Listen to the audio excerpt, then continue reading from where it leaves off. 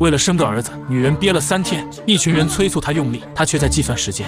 终于生儿子的时间到了，女人用尽最后一口气，随着一声婴儿啼哭，她也晕了过去。之前连着三胎都是女儿，当女人醒来的时候，问的第一句就是男女。嬷嬷告诉他是个王子，王后抱着孩子喜极而泣。这个儿子无疑改变了她处在谷底的命运。王上时年四十七岁，也算是老来的子，对这个儿子自然宠爱有加。这无形中改变了朝中的势力版图，已经开始有官员倒向王后的家族。一直忌惮王后的金安老大人，为了巩固权力，决心将一众态度不明的老臣贤臣赶出朝廷。他先在大臣中引起公论，再集体近乎逼迫的让王上做决定。王上只能无可奈何的答应，但在王上心中。金安老的专权已让他反感，金安老却不以为意。三城六叛都是他的替王上做决定又如何？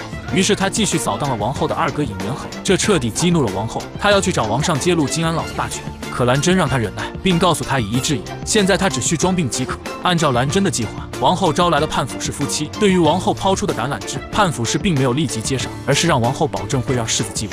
王后以自己的中殿之位做出承诺，判府氏这才同意和王后联手。兰真之所以知道判府氏是金安老身边最弱的一环，是因为他早早在判府氏身边安插了一名和他同样野心勃勃的义警，对判府氏和金安老之间的嫌隙了如指掌。判府氏从中宫殿出来就去了东宫，他告诉世子，金安老曾故意延后上报孝惠公主去世的消息。孝惠公主是世子的亲姐姐，世子震惊加愤怒，直接去质问金安老，这种事是无法瞒住的。金安老说这一切都是为了世子。得到真相的世子对金安老只剩愤怒。随后王后又去了宾厅，对以金安老为首的大臣一顿痛骂。说他们藐视王上，善用权力。说着说着，王后装作一阵绞痛，被嬷嬷搀回了宫。至此，王后装病的目的达到。世子前来探望，问母后为何不顾内命妇的身份去宾厅斥责大臣。王后此刻终于找到机会抛出王炸。她说金安老一派对王室的动机不纯，当年卓蜀之变就是金安老谋划，让孝惠公主实施的。世子震惊不已。王后说道：“孝惠公主曾亲自在魏娘这里承认，但这一切都是为了她的公公金安老回朝。”世子问王后为何不禀告父王，赐罪金安老？